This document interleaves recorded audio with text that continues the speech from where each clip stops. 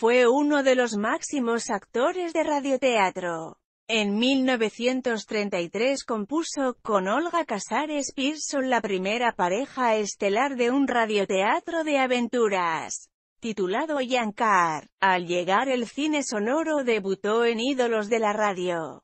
1934, a la que siguió La intrusa. Posteriormente intervino en varias películas, entre las que se recuerdan Las seis suegras de Barba Azul, 1945, y Esposa Último Modelo, 1950. Poco antes de dejar su actividad artística actuó en Surcos en el Mar, 1956, de la cual su esposa Casares Pearson escribió el argumento y en Continente Blanco, 1957, de la que también fue guionista su esposa.